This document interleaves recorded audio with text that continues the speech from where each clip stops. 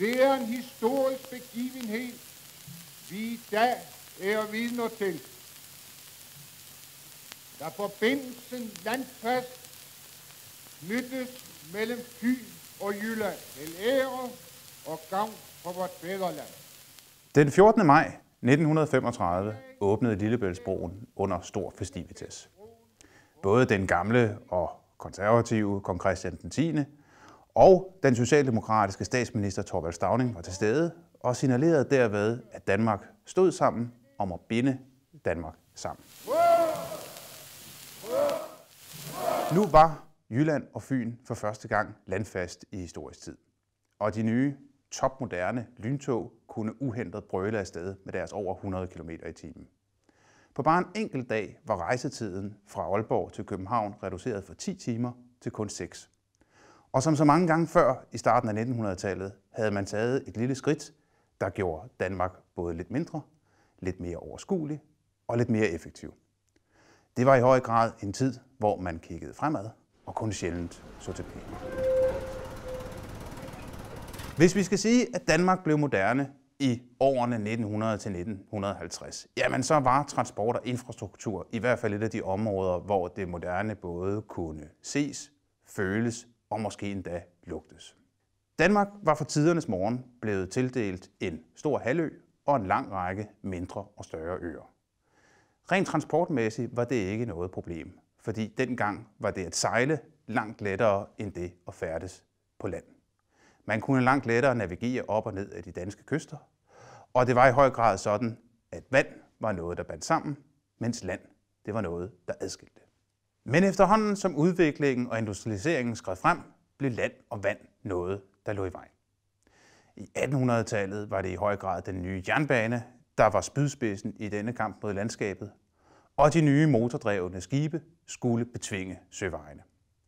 Men når vi træder ind i 1900-tallet, blev det i stigende grad broen og den nye tids helt ingeniøren, som byggede disse nye monumenter til moderniteten, der endegyldigt skulle betvinge de gamle søveje og binde landsdelene sammen. Lillebælt mellem Jylland og Fyn var et af de stykker vand, der nu lå i vejen. Allerede i 1873 havde man indført den første jernbanefærge, men det viste sig hurtigt, at der manglede kapacitet. Og særligt efter genforeningen i 1920, hvor at Lillebælts opland blev et stort stykke større, stod det hurtigt klart, at der måtte gøres noget. De første planer for en Lillebæltsbro, som blev tegnet omkring 1920, viste i midlertid, at man stadigvæk var præget af en 1800-tals tankegang og i høj grad tænkte jernbaner og knap så meget i den nye tids transportmiddel, nemlig bilen. Der kørte ganske vist en god del biler rundt på vejene allerede i 1920. Men det var stadigvæk kun de færreste firmaer og private, der havde brug for de larmende, spruttende monstre. Derfor var det faktisk også sådan, da man lavede den første tegning til Lillebæltsbroen omkring 1920, at man tegnede en ren jernbanebro. Og så placerede man for bilernes skyld en lille kasse nedenunder broen, hvor bilerne så kunne køre ombord og blive trukket frem og tilbage. Det var, hvad man dengang kaldte en såkaldt hængefærge til biler. Planerne blev dog i første omgang udskudt et par år. Og da man tog dem op igen i midten af 20'erne, stod det allerede klart, at den kraftige vækst i bilismen betød, at man blev nødt til at tænke i en kombineret jernbane og bilbro. Opførelsen af Lillebæltsbroen blev et storstilet byggeprojekt i Danmark i 1930'erne. Og både lokale og altså sågar udlændinge kom rejsende fra nær og fjern for at følge arbejdet. Særlig spænding var der omkring de store sænkekasser, som skulle placeres midt i den stærke Lillebæltstrøm, og derefter sænkes ned i strømmen for at danne fundamentet for bropillerne. Omkring 1932 var man nået til selve overbygningen. Den 800 meter lange stålkonstruktion, som det tyske firma Krupp stod i spidsen for at opføre. Og hvor der i alt skulle bruges over 2 millioner stålnitter for at nitte brokonstruktionen sammen. Af de mange hundrede arbejdere, der arbejdede på broen, var hele 77 beskæftiget udelukkende med at nitte. Og på trods af en smule forsinkelser, stod broen færdig i 1935 til indvielsen. Det var et af mellemkrigstidens første store brobygningsprojekter, men det blev langt fra det sidste. Den nye store bro over Limfjorden stod færdig allerede i 1933. Guldborgsundbroen forbandt Lolland med Falster i 1934, og i 1937 var det hele Lolland Falster, der nu blev forbundet med Sjælland via Storstrømsbroen. I 1937 blev også Masnedsundbroen færdig. I 1938 var det så Oddesundbroens tur, og endelig i 1939 blev Vildsund betvunget. De to sidste af mellemkrigstidens store brobygningsprojekter blev først færdig under besættelsestiden.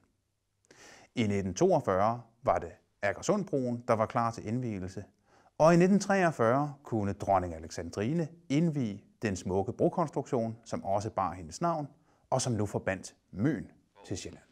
Erklærer jeg på hendes majestæt dronningens vegne, dronning Alexandrines bro åben. Et leve broen!